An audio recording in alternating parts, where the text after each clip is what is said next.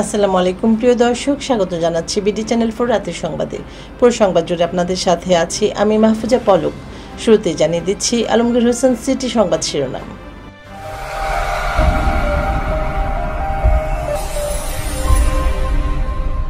কিশোরগঞ্জে ঘন ঘন লোডশেডিং ঘূর্ণিঝড় রেমালের প্রভাবে জনজীবন বিপর্যস্ত। চিকিৎসার নামে গরিব মানুষদের রক্ত চুষে খাওয়া যাবে না, বললেন এমপি তৌফিক। ফিলিস্তিনকে আনুষ্ঠানিকভাবে রাষ্ট্র হিসেবে স্বীকৃতি দিল স্পেন। ওটিটিতে মুক্তি পাচ্ছে সাকিবের রাজকুমার। কোর্তোয়াকে বাদ দিয়ে বেলজিয়ামের ইউরো দল ঘোষণা। শুনছিলেন আলমগীর হোসেন সিটি সংবাদ শিরোনাম, এবার বিস্তারিত। কিশোরগঞ্জে ঘূর্ণিঝড় রেমালের প্রভাবে জনজীবন বিপর্যস্ত। ঘন ঘন লোডশেডিংয়ে ভোগান্তি বেড়েছে শহরবাসীর। গতকাল ভোর থেকে বৃষ্টি সহ দমকা বাতাসে চলে ঘূর্ণিঝড় রেমালের তাণ্ডব। তবে ঘূর্ণিঝড় রেমাল উপকূল অঞ্চল অতিক্রম করার সময় থেকে এখন পর্যন্ত কিশোরগঞ্জের কোথাও তেমন কোনো বড় ধরনের ক্ষয়ক্ষতি বা প্রাণহানির খবর পাওয়া যায়নি। কিশোরগঞ্জ চার আসনের সংসদ সদস্য সড়ক পরিবহন ও সেতু মন্ত্রণালয় সম্পর্কিত সংসদীয় স্থায়ী কমিটির সভাপতি প্রকৌশলী রেজওয়ান আহমদ তৌফিক বলেছেন, কিশোরগঞ্জে যারা চিকিৎসা করাতে আসে তারা গরিব মানুষ। চিকিৎসার নামে গরিব মানুষদের রক্ত চুষে খেতে হলে চিন্তা ভাবনা করতে হবে। আমাদের সৌভাগ্য এই জেলায় তিনটি মেডিকেল কলেজ আছে। কিন্তু তিনটি মেডিকেল কলেজ থাকার পরও কেন আমাদের ঢাকা যেতে হবে? আমরা কেন নির্ভরতার জায়গায় পৌঁছাতে পারছি না? সেটা সকল জনপ্রতিনিধিদের নিয়ে বসে প্রয়োজনীয় ব্যবস্থা নিতে হবে। আজ দুপুরে Kishoreganj president Abdul Hamid medical college হাসপাতালের হল রুমে মেডিকেল বর্জ্য প্রক্রিয়াকরণ বিষয়ক কর্মশালায় প্রধান অতিথির বক্তব্যে এসব কথা বলেন তিনি।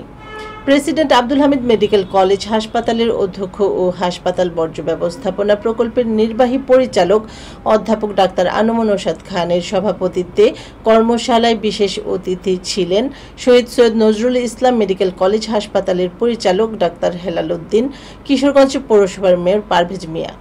এবার বিনিময় সাইবার নেট আন্তর্জাতিক খবর।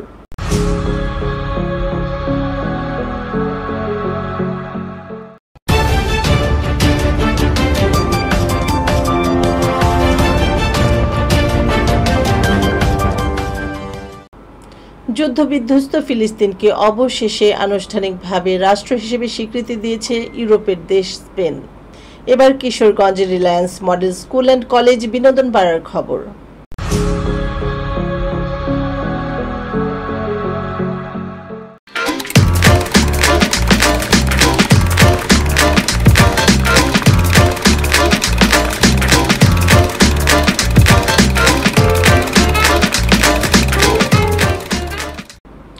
সাকিবের রাজকুমার সিনেমা এবার আসছে ওটিটি প্ল্যাটফর্মে।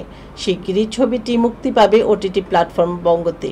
এরই মধ্যে ছবির প্রযোজক আরশাদ আদনানের সঙ্গে চুক্তি সেরেছে বঙ্গ কর্তৃপক্ষ। এবার ঘরোয়া ডিজিটাল প্রিন্টার্স খেলার খবর।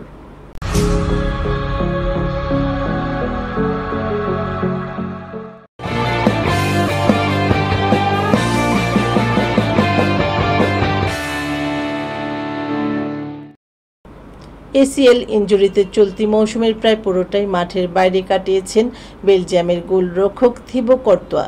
সম্প্রতি ক্লাব রিয়াল মাদ্রিদের হয়ে খেলায় ফিরেছেন তিনি। উয়েফা চ্যাম্পিয়ন্স লিগের ফাইনালে রিয়াল মাদ্রিদের গোলবার তিনি সামলাবেন বলে অনেকের ধারণা। বর্তমান প্রজন্মের অন্যতম সেরা এই গোলরক্ষককে দেখা যাবে না আসন্ন ইউরো চ্যাম্পিয়নশিপে। দর্শক ছিল বিডি চ্যানেল ফোর রাতের সংবাদ। সকলকে পরবর্তী সংবাদ দেখার আমন্ত্রণ জানিয়ে এখানে বিদায় নিচ্ছি। আপনারা ভালো থাকুন, সুস্থ থাকুন।